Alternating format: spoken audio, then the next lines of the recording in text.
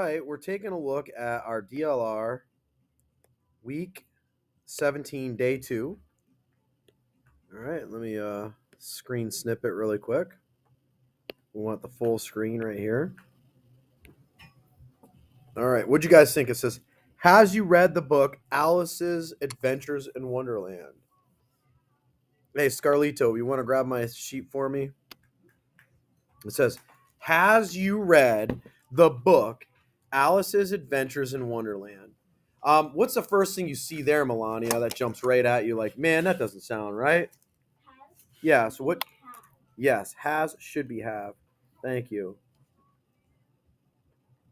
Have you read the book Alice's Adventures in Wonderland? Uh, I see something jumping up. Xander.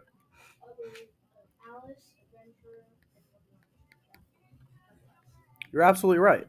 Absolutely right. Very good, Xander. Have you read the book Alice's Adventures in Wonderland? Um, do you see anything else? I don't. Have you? Have you read the book Alice's Adventures in Wonderland? I don't see anything else, you guys. All right, so it looks like we have one, two, three, four corrections for this one. All right, and then you would obviously, we're going small and accurate when you write your workout. Okay.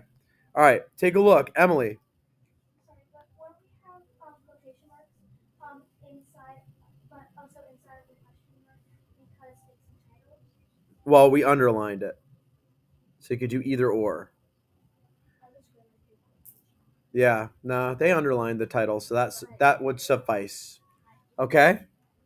You ready? The tale the tale begins where Alice sees a rabbit who is wearing a coat and look at the watch. Ooh, that's a mess. It is a mess, you guys. I see a homophone mix up. Who can spot the homophone mix up? Aiden. Um, instead of it, it, tail is spelled wrong. It should be T A L. That is the homophone mix up. The tale begins where is it where? That's right. We're talking about time, not location, right? So what should that be right there? The tale begins not where, but when. The tale begins when Alice sees a rabbit. Would it be who is? What should that be instead of who? That is wearing a coat and look at the watch. And looking, that's right. All right, so now let's read it again. The tale begins when Alice sees a rabbit that is wearing a coat and looking at the watch. Jack, what should it be?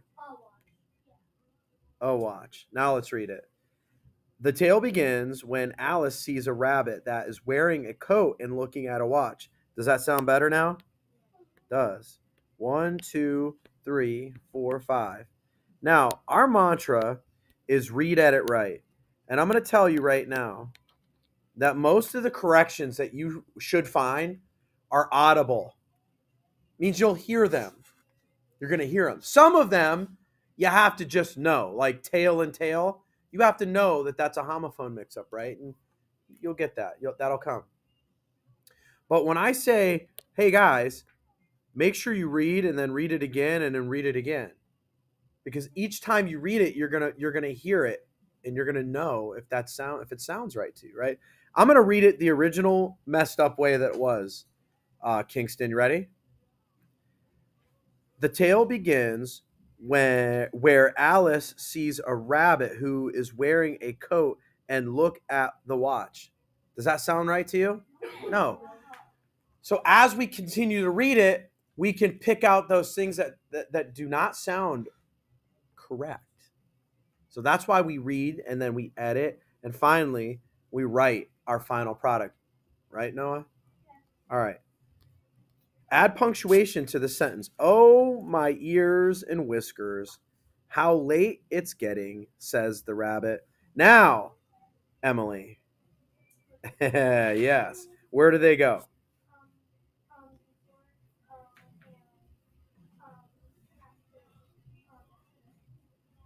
You said after the exclamation point? Oh, my ears and whiskers. How late it's getting, says the rabbit. Right? I think we're good. That's all we needed there. Right? oh. Did you guys add the quotation marks? Be a comma though after the No, because there's a exclamation point. Aw. Mm-hmm. Yep. All right. Oh, my ears and whiskers. How late it's getting, says the rabbit, right? You read it like that because it's excite he's there's a, it's an excited statement, right? And that's why we do the exclamation point. Are you ready for this? Uh, complete the sentence with the prepositional phrase. Oh, good, because we've been talking about those, haven't we? Then circle the preposition. Alice follows the white rabbit down a rabbit hole or because he is cute. Which one is a prepositional phrase?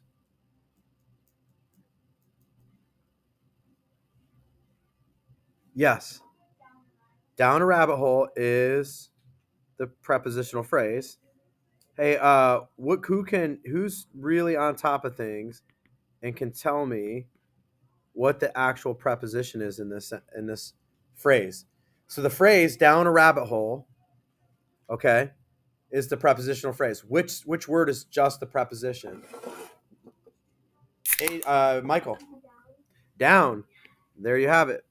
All right. Okay. Well, there it is. DLR week 17, day two in the books. Todaro out. Out.